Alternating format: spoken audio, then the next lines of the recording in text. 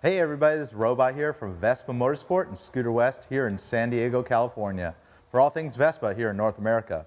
Today I have a new LED headlight that's specifically designed to fit the Vespa GTS and the Vespa GT from the earlier days.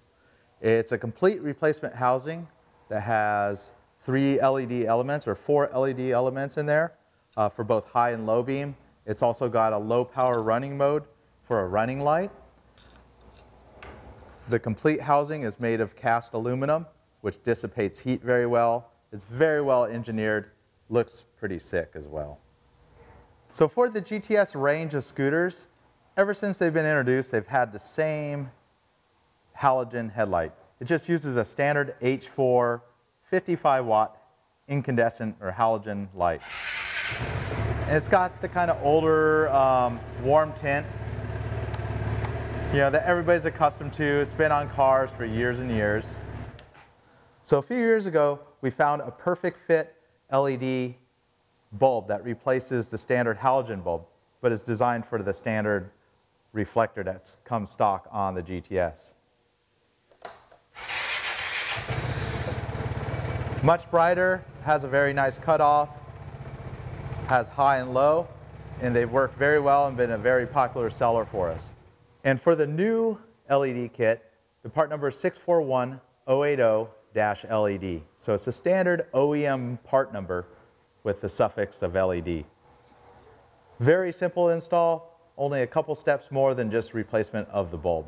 So let me go over some of the basic tools needed to install this LED kit, or if you're just changing the bulb. First of all, on any of the modern Vespas, I would say 2010 and on, Many of the screws are Torx, so you're going to need a T25 Torx driver, which is a star-shaped driver. You're going to need a thin flat-bladed screwdriver to pop the Piaggio badge off the center horn cover. The pair of screws that hold the lower corners of the front handlebar cover are a very small Phillips, so you'll need a number one Phillips driver for those two screws. And the center screw that holds the handlebar cover is a number two, which is a more of a standard size Phillips driver. To remove the mirrors, you'll need a 17 millimeter wrench. For the new LED kit, includes new fasteners. They're Allen fasteners. You're going to need a 4 millimeter Allen driver, so the hex style driver. And optionally, there's an extra red wire on this LED housing. Starting in 2015 on the GTS, they eliminated the running lights on the headlight, which is an extra little bulb that gives ambient light when you turn the key to the on position before the headlight comes on. On those models, it's not wired in. On anything prior, there's a connector, connector that you just plug right into the existing running light. For the later models, 2015 later, you'll need a couple of extra parts and tools. Need a wire stripper. I'd recommend a small length of 20 gauge or 18 gauge Electrical wire can be any sort. You can cut it out of an old um, lamp cord or whatever, not critical. And two tools that make, or two items that make installation very easy are these posi taps. And our part number on these is EC01T. That's only for 2015 and later if you want to set up the running lights or the parking light, as it's called in other countries. So we'll start with removing the mirrors. On 2017 and prior GTS models and GT models, the covers that go over the brake reservoirs have a small screw. On the 2018 and later, they're now integral into the front handlebar cover, so we don't need to remove those reservoir covers. Typically, it's a small Phillips or a two and a half millimeter um, Allen fastener. It holds these reservoir covers on. On the older models, of course, this one not having, having that style, you don't need to worry about it. Get to the mirrors, got two rubber plugs that pull up and you can just crack those loose with that 17 millimeter wrench. Take extra care not to scratch the bodywork. You know, with the wrench, if you slip with the wrench, it's gonna be bad news. You're gonna scratch the paintwork. So all I did is just loosen them, or crack the nuts, essentially. So now they're just hand tight, and you can just go ahead and carefully remove both mirrors. So take a very thin flat bladed screwdriver, and on the left side of this badge, you can carefully get it into the, the slot and just carefully pry the badge off. It won't make any damage to the plastic horn cover.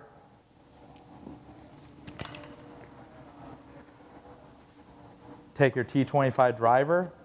Uh, if it's 2010 or earlier, you're gonna need a Phillips uh, screwdriver. Remove the center screw that holds this horn cover in place.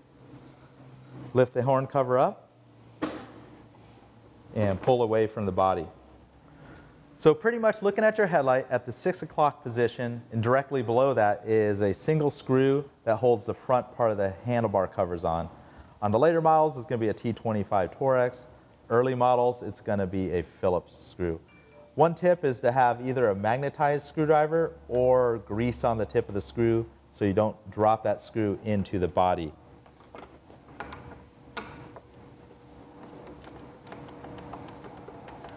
So with the number one Phillips screwdriver, there's a pair of screws located just underneath the horn and a start button. Go ahead and remove those two screws. They're going to have a washer included with them.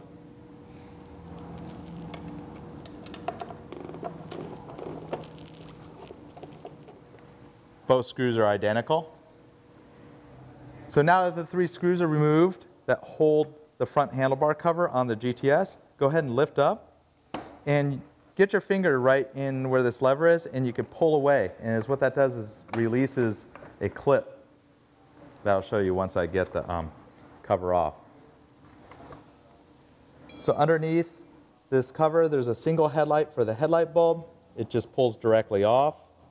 Um, if you have one of the early models with the running light, there's going to be a small connector that you'll also need to remove. The pair of tabs on the side of the handlebars are located here, and they engage with the small paw that's molded into the plastic cover here. So go ahead and flip the handlebar cover over. As you can see, there's four screws that retain the headlight assembly. This is a stock headlight assembly, and they're going to be Phillips screws regardless of the year. And they're rather long screws. Go ahead and remove all four of them. As you can see, i am resting the headlight on the seat. That's like a good soft surface that will not scratch the plexiglass lens on the front of the headlight lens.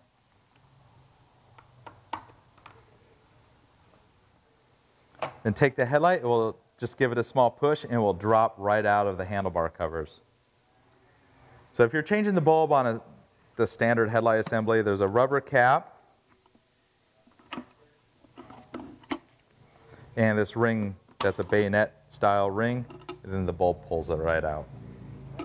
On the new headlight assembly, go ahead and remove all four of the new stainless steel Allen fasteners with the 4 millimeter Allen screw. The four included screws are all identical length and include a pair of washers to lock them in place. So take the headlight assembly and go ahead and fit it into the handlebar cover. Now you get a glimpse of how it looks. And go ahead and rest this on a soft surface. And you want to start by just getting all the screws started. So include the washers. And one thing about these screws, they're a little larger than the standard screws that came with the scooter, so it may need to thread through the plastic. No need to get a drill out. One trick to speed up installation of a 4 millimeter Allen key is to use a T25 Torx screwdriver. It happens to fit perfectly in a 4 millimeter Allen. Take in mind, or keep in mind, that you do not want to um, use this for the final torque. And as you can see, the other two screws are not all the way tightened. You just want to get them all started. It's always important when installing an item that has multiple fasteners.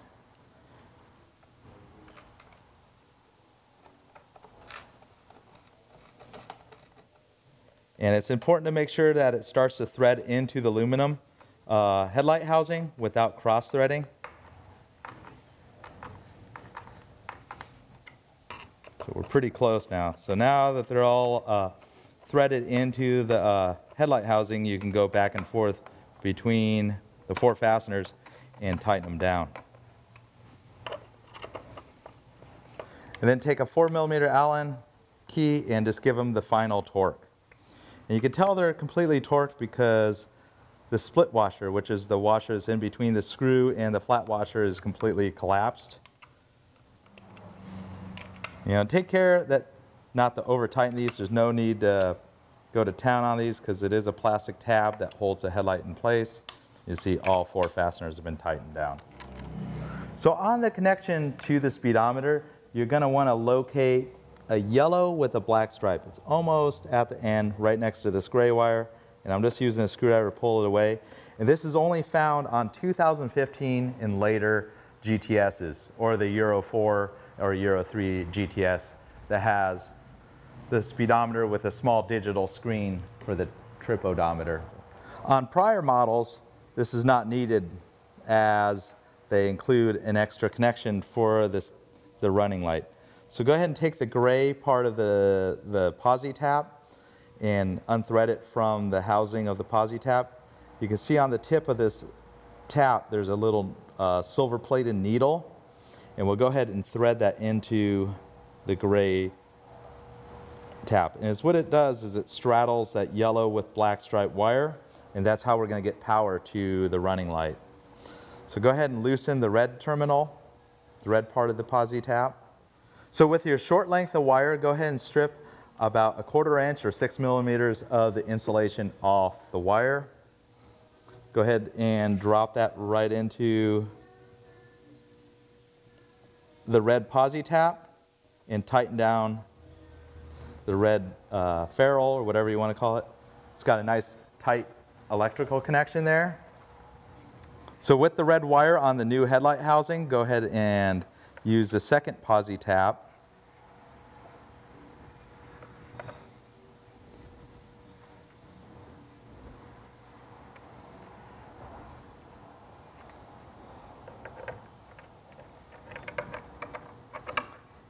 Open up the red the red section and go ahead and insert the wire.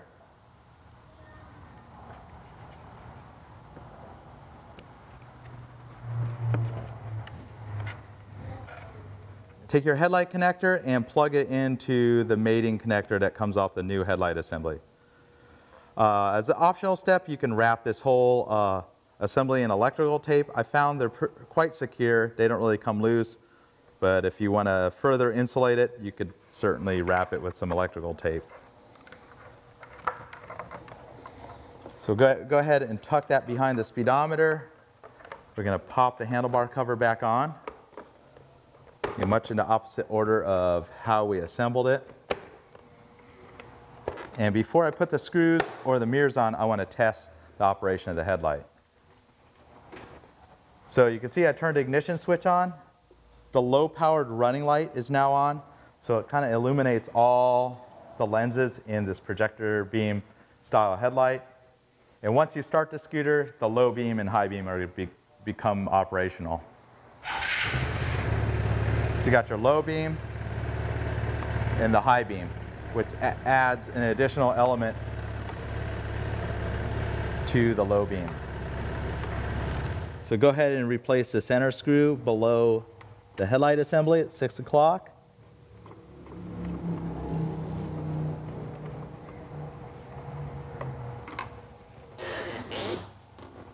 Tip the, the handlebars to the left or right.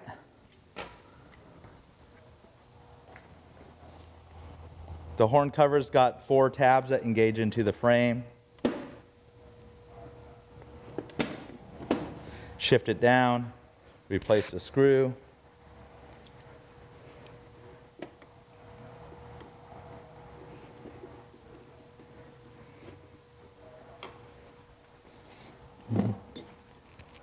Pop the badge in.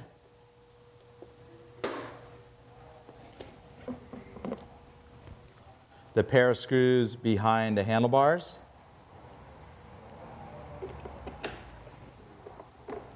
Take care not to over tighten these very small screws.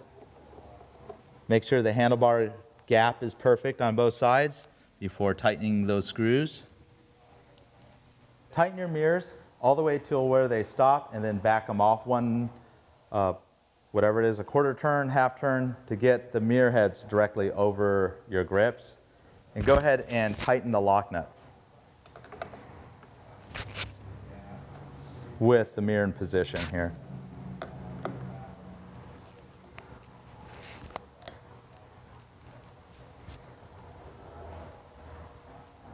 Here I got three Vespa GTS scooters with three different headlight options. We're gonna do a shootout of the three different headlights and the beam patterns and how much light they throw and also a sample of the color temperature of the light they throw. So starting out with a stock headlight, this is the standard reflector headlight found on pretty much all GTSs. It's never changed. You know, starting from the GT200 back in 2002, 2003, been the same headlight. They made some minor changes to it, but pretty much works the same, 55 watt halogen headlight. On our Vespa Everywhere bike, it's got the standard reflector, but has the retrofit H4 LED bulb. Very easy to install, works with the stock reflector, an inexpensive option to add more light output to your Vespa with a cooler white LED look to it. And here's the latest option, the complete LED projector beam headlight replacement assembly. You can see it's got four separate elements in there the, that have a lens that project the LED lighting to the correct positions, gives you a really nice cutoff for the low beam, and of course it's got a very cool look, kind of that angry eyeball look. So here we got the stock GTS 300 headlight with the halogen 55 watt low beam on. You see it's got a clean cutoff as any stock headlight should have. Uh, the warmer, kind of typical of an incandescent bulb. And there's the high beam, kind of throws light a little further. So here's the H4 LED retrofit bulb that we sell installed in the stock housing on a Vespa GTS 300. You see it's got a pretty decent cutoff, the nice LED cool white color. Uh, doesn't throw much light right in front of you, but the light output is much brighter than the stock halogen. And when you do the high beam, it adds an additional amount of light thrown much further as well, as you can see when it, the high beam goes on over the low beam. So here's the projector LED headlight retrofit. You can see it's got a very nice cutoff and it's got that typical of LEDs, nice cool 6000 Kelvin uh, lighting. Looks really good. The cutoff's perfect on it. Nice uh, line right across the door so you know there's very little glare to oncoming traffic. Once you go to high beam, adds the additional light much further out, makes a nice oval light. And you can see in comparison to the stock, it also lights closer in front of you too, so evident by the light on the ground. So now you're in the modern world with trick LED headlight on your GTS. You have much better visibility. Uh, the beam pattern is very nice with this headlight. Nice flat cutoff on the low beam. The high beam reaches a little bit further. And plus, first and foremost, it looks really trick, especially on this black bike with the black inner um, bezel that's built into the headlight. The lens design's identical to the stock headlight. Can't ask for more. The quality's been great. We've been testing these out for months before we started selling them. We've had no problems with them. They work great. Uh, one thing, if you do want to make any adjustments to the height of the beam, you can remove the headlight. You can add a washer to, to the top or the bottom pair mounts. So between the plastic tabs and the headlight assembly, you put a pair of washers you know, on the top or bottom, whether you want to move it up or down, to give you a little bit of adjustment. Doesn't have the adjustment screw like a stock headlight would. So thanks for watching the video. I hope everybody finds this useful and hope everybody buys one of these cool headlights for their GTS. I'm building my custom Sprint. If anybody's followed our channel, I'm going to put one of these headlights on my Sprint. And you can see our other video for installation on the Sprint in Primavera. If you're looking for a less expensive option, there's the retrofit bulb. You can look for the our other LED installation video for installing the LED H4 headlight replacement bulb for the stock reflector.